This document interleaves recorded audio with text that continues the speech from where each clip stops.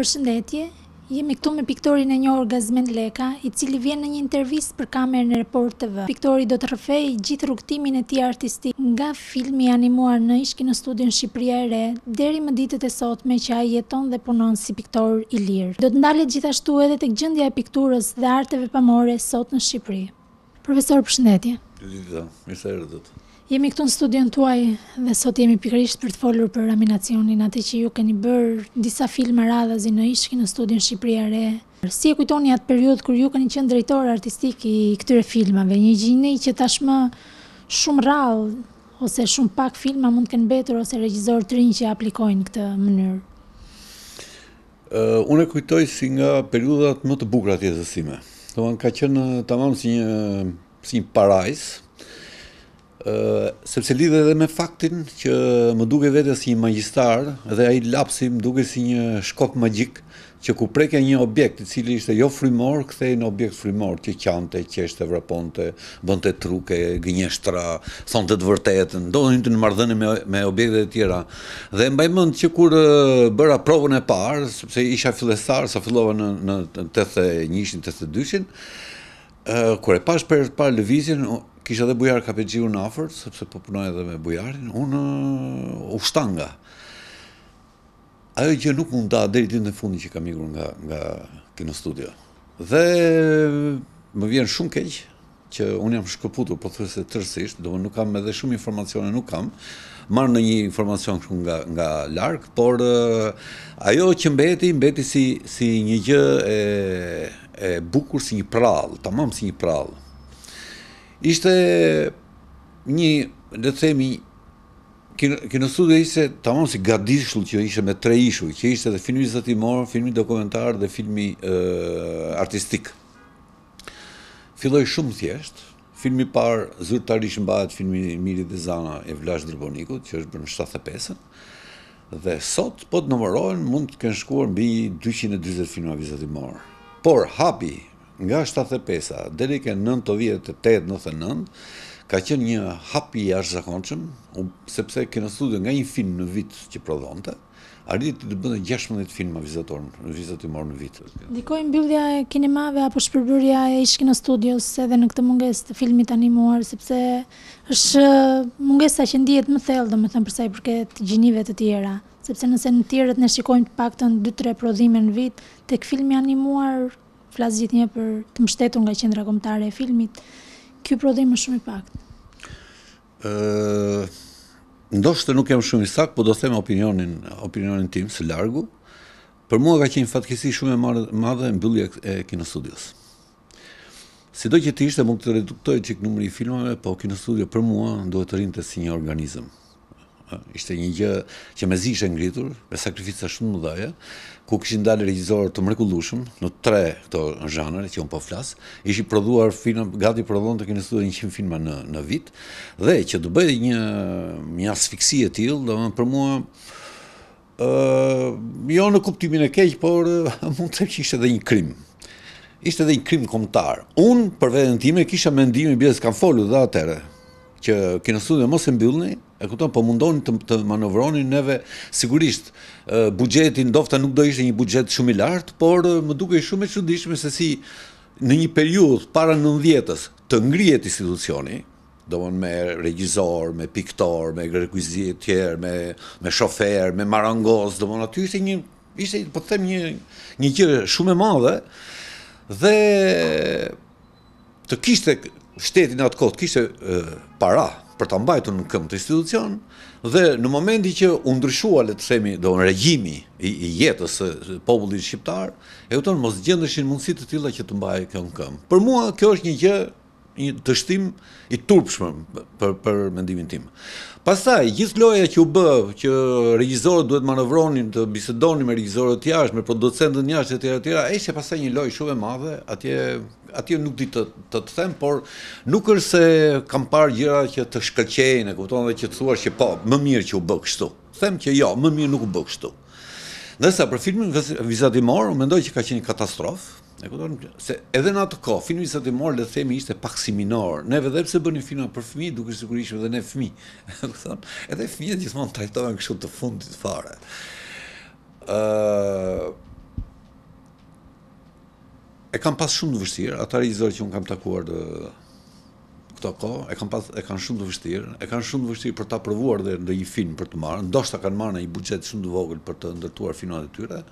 Por dihet ajo që filmi vizatimor, si gjithë si filmi si si një korpus i madh, përbëhet nga shumë elementë, nga shumë njerëz, nuk je vetëm. E kupton dhe gjithë kjo domethënë kër, kërkon një orientim të tjetër lloj që neve atëherë e kishim. Pavarësisht që kishte një koperturë ideologjike shumë të fuqishme, e kupton? Por ë, ë, sot ë, nuk di, ndofta është futur në lojë një film, filmi i cili bëhet me kompjuterin apo nuk di, neve atëherë mbaj mend kemi pasur dy kamera, ka qenë një nga, nga kamerat, ndoshta nga kamerat e mira të botës, e kupton, kishin ardhur direkte nga Japonia, me sa më kujtohet. Kishim një kamerë japoneze që ishte e mrekullueshme, që u shkatrua. U shkatrua, unë nuk di se ku është ajo kamerë. Po ajo ishte një kamerë për ta pa zili. Ndoshta funksionon, prandaj them, unë informacion nuk e kam shumë të saktë, por është një kohë e zymtë për filmin vizatimor.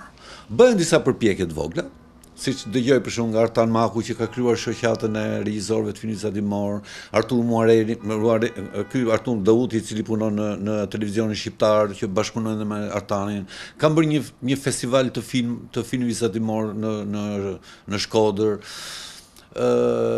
bashkëpunojnë, nuk e di, po në Shkodër me studentë të Akademisë së Shkodrës për filmin vizatimor, kanë bërë disa filma dhe atje, Po këta janë gjëra sporadike, nuk është më ajo strategji e madhe, e cila vazhdimisht bëhej, kthjellohej, bëhej shumë e qartë. Mm, të gjithë jemi mërzitur, të gjithë dhe ne që kemi ikur. Ju thatë që ne na drejtoheni si të vegjël, po pikërisht meqenëse ndalëm dhe erdhëm sërish te fëmijët, të rinjtë, të vegjlit, çfarë humbasin duke mos pasur mundësinë që të shikojnë filma shqiptarë të animuar dhe duke parë filma të animuar por të dubluar në shqip? Për mua humbasin shumë, sepse një të huajt nuk është se do marrin tema shqiptare. Qoftë duke marrë dhe legjenda shqiptare, duke marrë tregimet shqiptare, duke marrë letërsinë shqiptare, letërsinë për fëmijë, letërsinë për të rritur, qoftë dhe ambientin shqiptar sot, ngjarjet që zhvillohen sot, Askush nuk ka për t'i marrë që t'i trajtojë këto tema. Të vetmit që do t'i trajtojnë do jenë vetëm regjisorët shqiptarë të filmit multiplikativ, filmit vizatimor. Vetëm ata mund t'i trajtojnë. Dhe duke mos i trajtuar këto, atëherë është një një asfiksi shumë e madhe. Ti shef disa personazhe japonezë, të cilët hyjnë e dalin nga një film ke ke tjetri. ë filma të cilët kanë një problematikë Ndoshta për fëmijët, po pavarësisht, fëmijët nuk janë të gjithë njësoj në gjithë botën, ëh, për nga mentaliteti, për nga kultura, për nga ambienti ku ata rriten dhe ushqehen. Kështu që për mua kjo është kjo prerje ombilikale, e kupton, e këtij kordoni, për mua ka sjellë një lloj asfiksie. Por shpeshherë shoh, për shembull dhe në në internet kur shfaqen filmat shqiptarë që janë futur atje, ka shumë Persona të të moshave më të dyzet vjeç, pesëdhjetë vjeç, edhe më sipër, të cilat shkruajnë për nostalgjinë e filmit shqiptar. Dëgjoj shumë fjalë që thonë sa mirë bëre që fute, më kujtove rininë, më kujtove fëmininë time, jam rritur me këtë film, jam rritur me atë filmin tjetër atje. Kujtojnë, domethënë është një lloj historie e cila shkruhet në, në Facebook ose në Youtube, e kupton, por që të jetë një gjë, domethënë e vërtetë, Se ti edhe sot s'ke një libër për historikun e filmit të vizatimor shqiptar. Ka bërë Josif Papagjoni një film për historikun e filmit artistik, domethënë para ca ditë ma dhuroi librin, që ishte një libër goxha i madhë, domethënë me shumë informacion, me regjisorë, me piktorë, me të gjithë, për filmin vizatimor shqiptar, askush nuk është ulur që ta financojë, që të bëhet një histori, e një gjëje të ndritur që ka qenë në tek, tek në. Megjithatë, ju vazhdoni mbas këtij momenti të largimit nga Kinostudio, ju vazhdoni jetën tuaj si piktor, jemi çdo vit që sillni nga një ekspozitë. Jemi sot në studion tuaj, por aktualisht me çfarë jeni duke punuar, cila do të jetë ekspozita e radhës? Unë nga fundi i domethënë, në afrim të viteve 90, unë u shkëputa dhe shkova në pedagog në Akademinë e Arteve, domethënë Nuk më zuri çatia e Kinostudios poshtë, e kupton, po më shpëtova, si me thënë. Bëra dhe një llogari shumë, përveç vokacionit të brendshëm, përveç thirrjes që kisha për pikturën, grafikën, vizatimin, e kupton. S'do ta kisha braktisur kurrë filmin vizatimor, të them të drejtën, domethënë kujtoja që me këtë do të grysja jetën time, sepse e adhuroja, le të themi, filmin vizatimor. Por pastaj bëra një llogari të vogël. Thashë filmi vizatimor bëhet me një ekip. Unë ekip s'kam ku gjej më. Piktura, vizatimi, grafika bëhet vetëm në studion tënde. Dhe kështu që unë gjeta edhe një herë thirrjen e parë, domethënë që nga liceu, nga akademia. Ë uh, sigurisht merrem, jam shumë aktiv, merrem përditë me me pikturën. Vij çdo ditë në studion time, rri, kaloj pothuajse gjithë ditën, domethënë vij në mëngjes e dal në në, në darkë. Kam bërë çdo vit ekspozita, Kam ndërtuar cikle, shumë cikle kohët e fundit, me pikturat e mia dhe me vizatimet.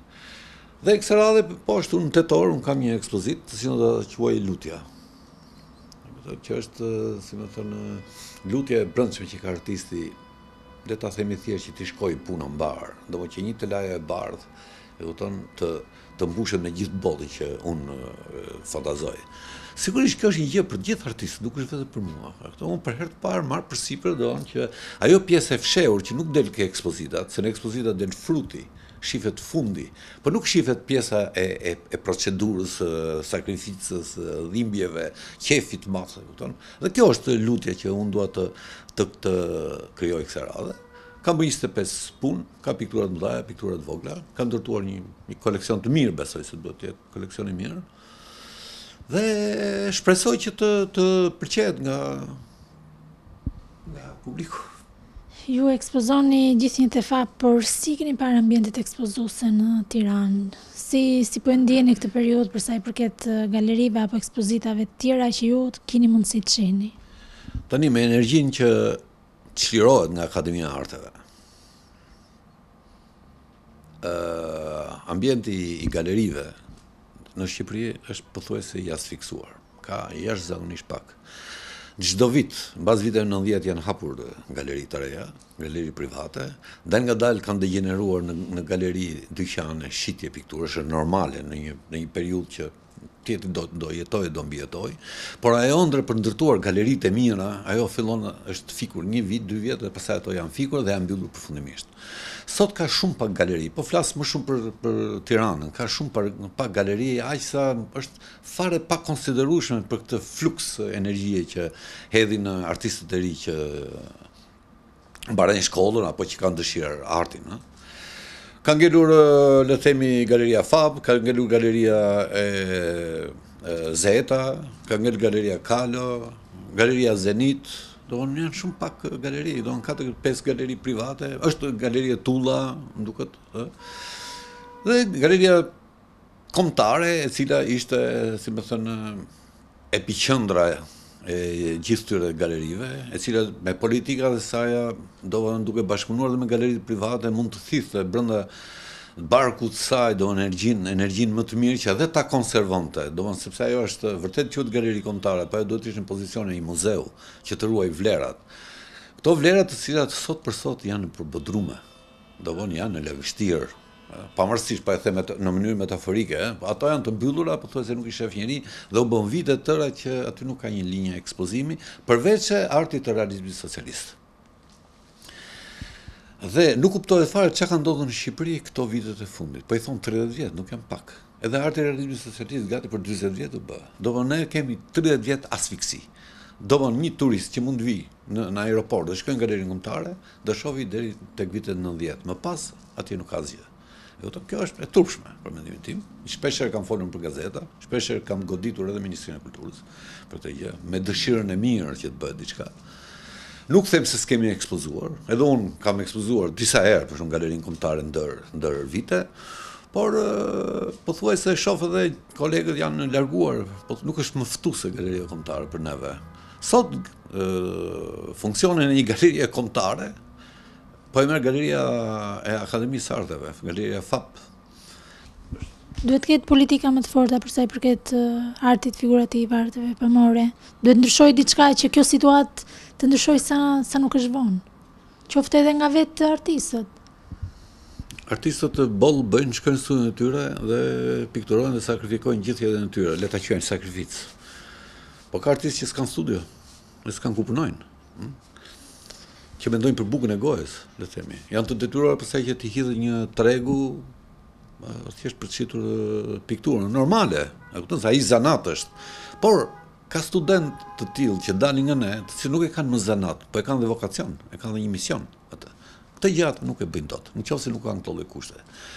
Para 90-s ka pas pavarësisht ka, e njohim gjithë se çka ka qenë atëherë. Domethënë gjithë ai presion me individin ka qenë. Por artistët kishin artistët më të mirë u jepeshin studio, i jepeshin leje krijuese. Domthon kishin një lloj trajtimi, kishin një lloj përgëdhelje, le të themi.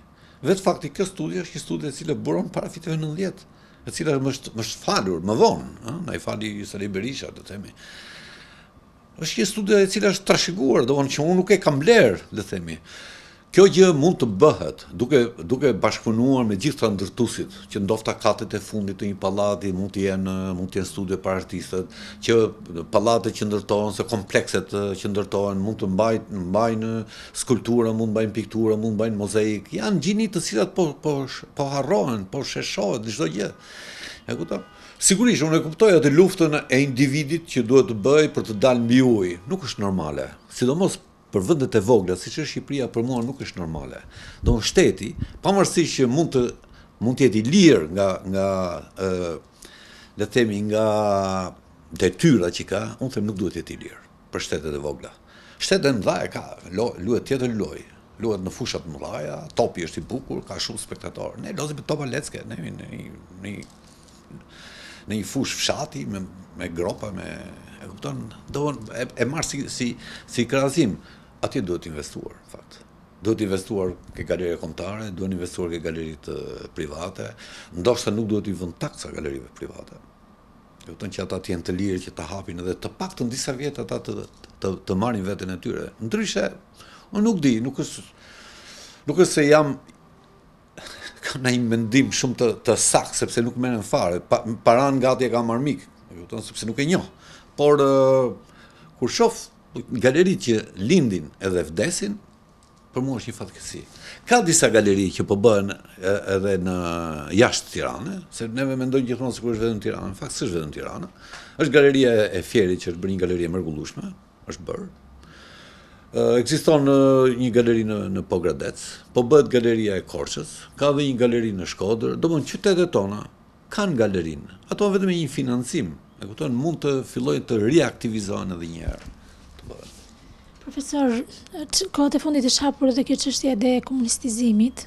Kemi parasysh këtu të gjitha veprat e artit, qoftë në arte pamore, qoftë në kinematografi apo në letërsi që kanë përmbajtje propaganduese do të kenë një shënim përkatës që kjo vepër është krijuar në filan rrethan, dhe i ka shërbyer periudhës komuniste, duke përmendur atje dhe të gjitha krimet e tjera që janë bërë në komunizëm, si tip shënimi, por që presupozohet që nëpërmjet këtij projektligji të marrë udhë kjo iniciativë. Ju vetë si piktor, duke patur parasysh dhe temat e dhëna aso kohë që normalisht kanë pasur influencën e pushtetit, si, si e shifni, sa me vend e shifni, domethënë që të bëhet një Një gjest i tillë tek një vepër arti.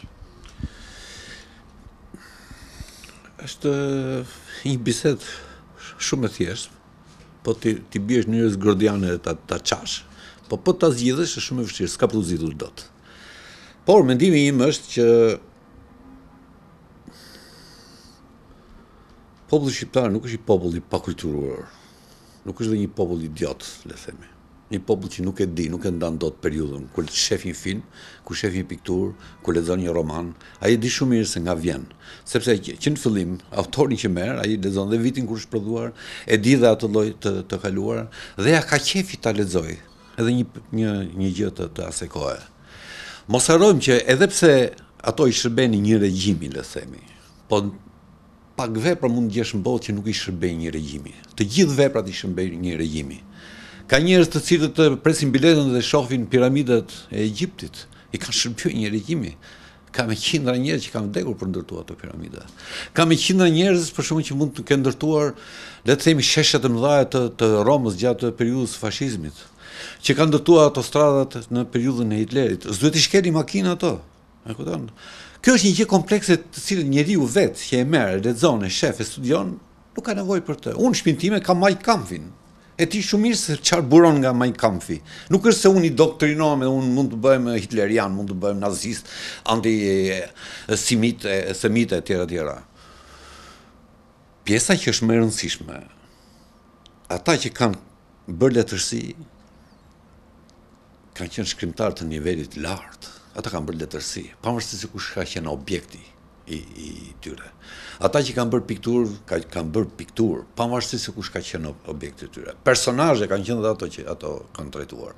Pavarësisht nga një frymë ideologjike shumë e fortë që ka depërtuar. Po mos harrojmë, unë nuk mund ta pranoj dot që të marr një libër le të themi të Kadares, edhe ajo të ketë vulën në fillim që ky libër është bërë në diktaturë. Po unë sot nuk është se po gjej një shkrimtar edhe më të madh se Kadare, me thënë drejtën. E para, e dyta, pavarësisht se në thonjza, sipas mendimeve të shumë njerëzve, ai i ka shërbyer diktatorit dhe diktaturës. Fryma e tij na ka bërë rebel në atë kohë. Librat e Kadares, neve na bënin të ishim disident në shpirt. Jemi ushqyer me atë gjë. Unë vazhdoj t'i lexoj akoma, të lexoj akoma vitin e mbrapshtë, të lexoj akoma urën me tre harqe, të lexoj akoma qoftë dhe dimrin e madh.